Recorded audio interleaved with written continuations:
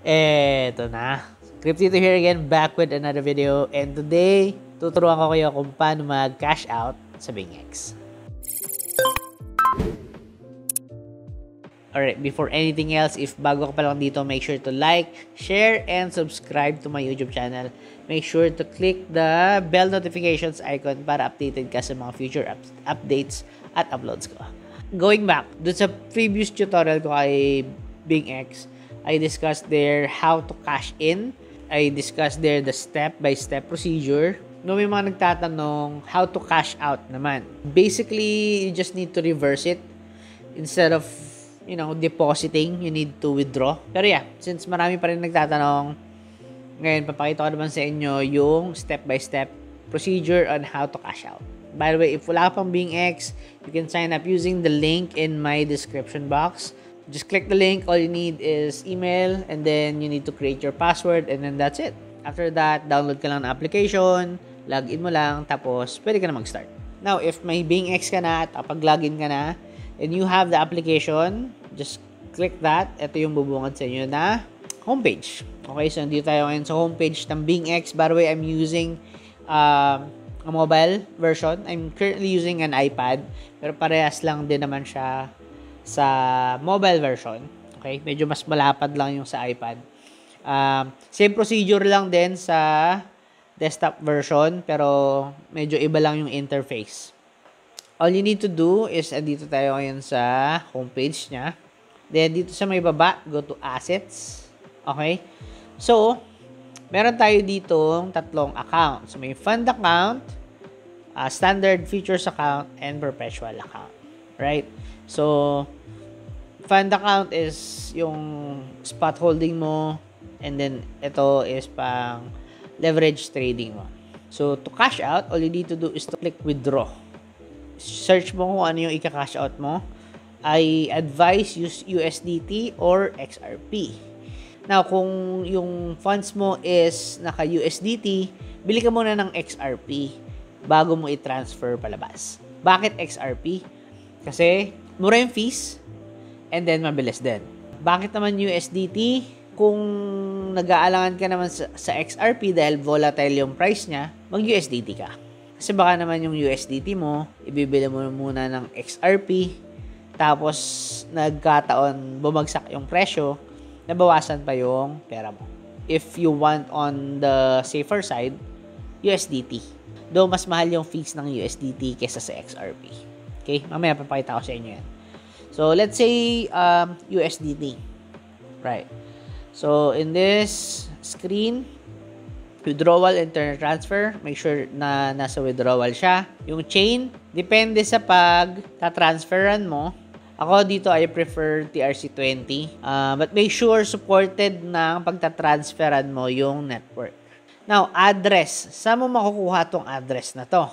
Makukuha mo yan dun sa exchange or dun sa wallet. For example, unahin natin si CoinsPH.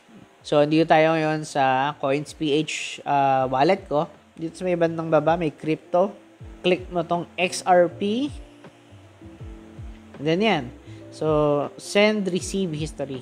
So, all you need to do is to click receive kasi from BingX to CoinsPH. Receive. Always include destination tag. So, dalawa yung kokopyahin mo. Okay? XRP to kasi dito sa CoinsPH walang USDT. So, ang gagamitin natin pag CoinsPH is XRP.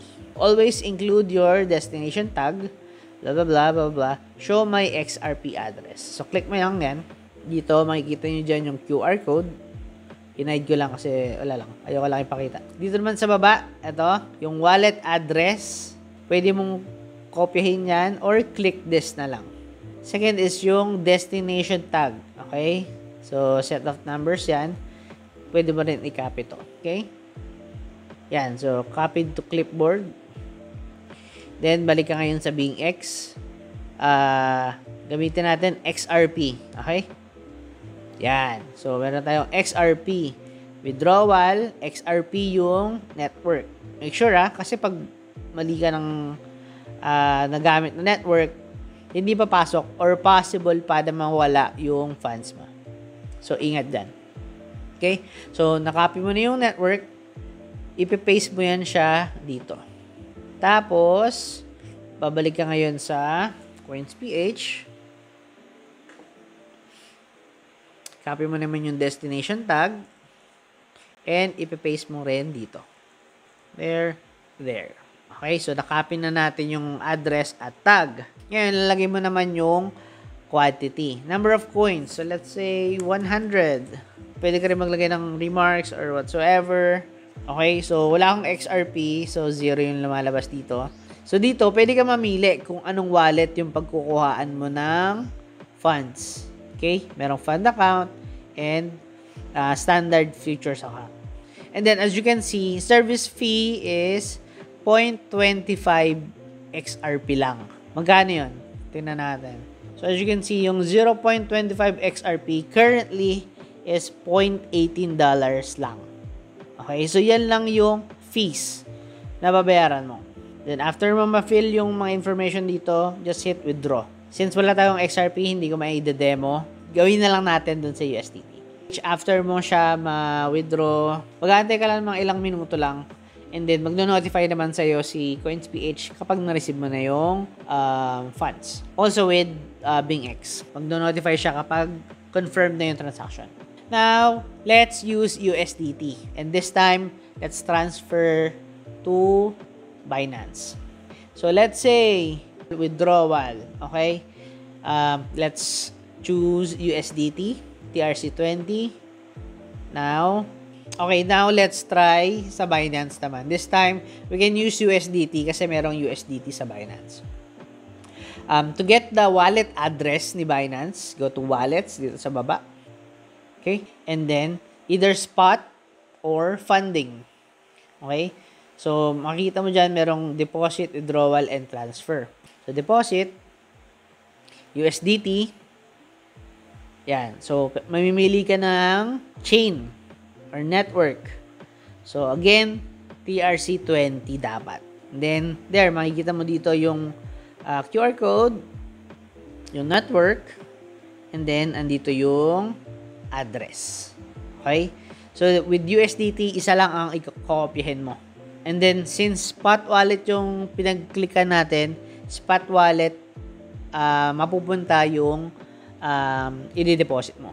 Balik tayo ngayon sa BingX. Paste mo dito yung address ng Binance mo. TRC20 again. Uh, quantity. So, let's say 12. Minimum is 10, di ba? Minimum is 10. Let's say 12 remarks, um, kahit ano na, um, I leave it blank lang. Service fee, as you can see, is $1 lang. Mas mataas kaysa XRP. Medyo maliit pa rin naman, pero still up to you. So, do not transfer your asset to any non-USDT addresses as you may not be able to retrieve the USDT after transfer. Please check your withdrawal address carefully. Once a withdrawal request is issued, it cannot be recalled. Okay? So, pag nag uh, copy ka dyan, make sure na walang space yung nakopy mo and then tama yung address. So, yung actual na dadating dun sa wallet mo is here, $11 kasi may service fee tayo na $1. So, withdraw. Okay, so eto na. So, meron tayong fund password email verification, at Google Authenticator Code. Baro yung fun password ko, hindi mo pa siya nasa-set up. At um, first time mo magka-cash out, you will have an option here to create your fun password. So, basta tatlo yan. Fund password, email address, tapos phone number. Ako kasi, I use GA para ma-secure. Um, email verification, get code, magsisend sa'yo ng verification email si BingX, ikakopy mo yung code, ipipaste mo dito. Google Authentication, if wala ka pa nito, siguro I'll do another content na lang explaining how to how to link Google Authenticator sa BingX. For the meantime, you can search it sa Google or sa YouTube. Once meron ka ng Google Authenticator, kukunin mo lang yung code dun sa Google Authenticator mo, then ipipaste mo dito. Then, yun na.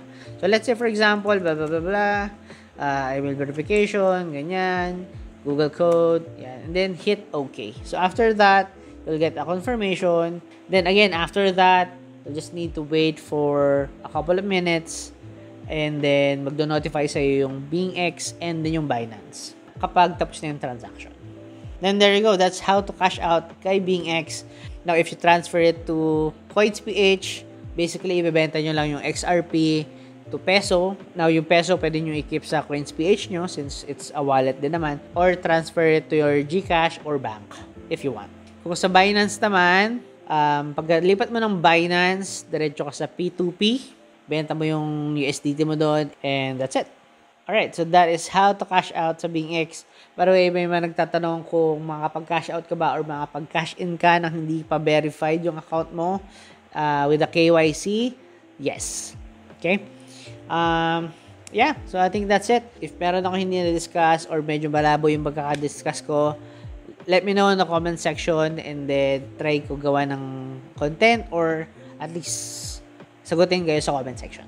By the way, follow nyo na rin ako sa TikTok, Instagram, Facebook, at Twitter.